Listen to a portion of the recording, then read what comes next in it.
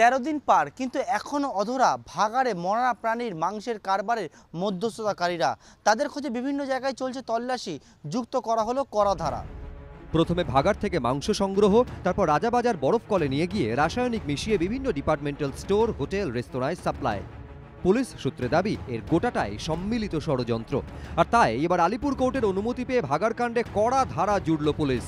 ভেজাল কারবারের অভিযোগে আগে মামলা রুজু করা হয়েছিল ভারতীয় দণ্ডবিধির দুশো বাহাত্তর এবং দুশো তিয়াত্তর নম্বর ধারায়। এবার তার সঙ্গে জুড়ল অপরাধমূলক ষড়যন্ত্রের অভিযোগ একশো কুড়ির বি ধারা। পাশাপাশি ফুড স্ট্যান্ডার্ড অ্যাক্টের উনষাট নম্বর ধারাও যোগ করা হয়েছে অভিযুক্তদের বিরুদ্ধে।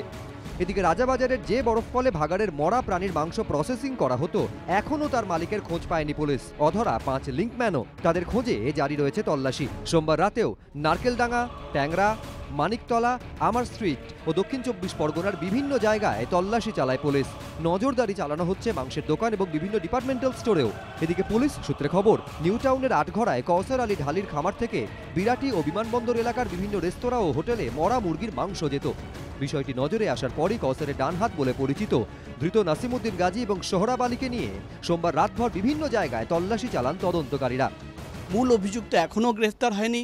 আর তাকে খোঁজার জন্য কিন্তু বিভিন্ন জায়গায় তল্লাশি অভিযান চালানো হচ্ছে। পাশাপাশি দুজন অভিযুক্ত, তাদের পুলিশ হেফাজতের মেয়াদের রিমান্ড যে সময় শেষ হচ্ছে।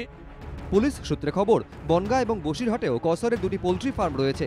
সেখান থেকেও মরা মুরগির কারবার চলতো কিনা তা খতিয়ে দেখছেন তদন্তকারীরা। পার্থপ্রতিম ঘোষ ও প্রকাশ সিনহা এবিপি আনন্দ।